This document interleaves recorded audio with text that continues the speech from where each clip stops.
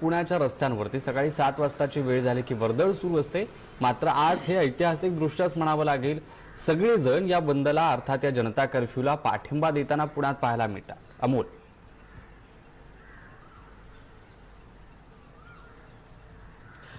नक्कीच. पुणेकर या जनता कर्फ्यूला शंभर टक्के प्रतिसाद देतील अशी परिस्थिती आहे आणि अशीच अपेक्षा देखील आपण करूया.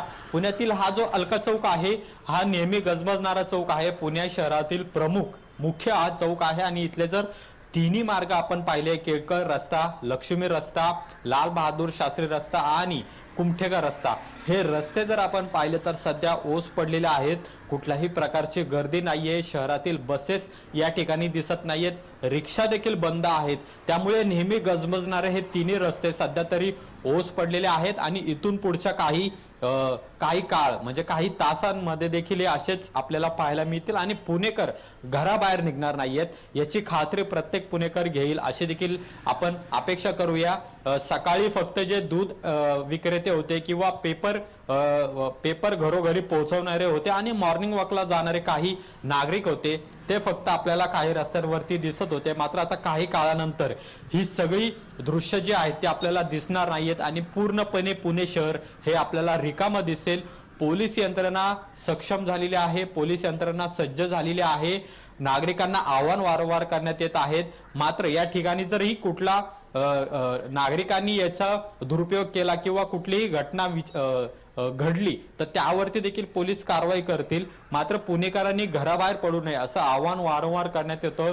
महापालिका प्रशासन असेल जिल्हाधिकारी असतील यांनी हे आवाहन केलेलं होतं. त्यामुळे आजचा जो दिवस आहे तो आप तो आपल्या देशासाठी खूप महत्त्वाचा आहे संपूर्ण जगासाठी महत्त्वाचा आहे. त्यामुळे प्रत्येक नागरिकांनी घराबाहेर पडू नये अशीच अपेक्षा प्रत्येक जण करत आहे आणि आव्हान देखील वारंवार करत आहेत. मात्र काही ठिकाणी जर आपण पाहिलं तर अत्यावश्यक सेवा या सुरूच राहणाऱ्या यामध्ये मेडिकल मेडिकल्स दुकान असतील किराणा मालाचे दुकानं असतील हे काही प्रमाणात चालू राहतील. डॉक्टरांना पोलीस कर्मचारी त्याचबरोबर सफाई कर्मचारी जे असतील त्यांच्यासाठी वाहतूक सेवा काही प्रमाणात सुरू ठेवण्यात येणार आहे. मात्र सामान्य नागरिकांसाठी संपूर्णपणे वाहतूक सेवा ही बंद करण्यात येणार आहे. त्यामुळे आजचा दिवस फार महत्त्वाचा आहे. या कोरोना विषय कोरोना विषाणूशी लढायचा असेल तर प्रत्येक नागरिकांनी त्यांचं त्यांचं योगदान दिलं पाहिजे.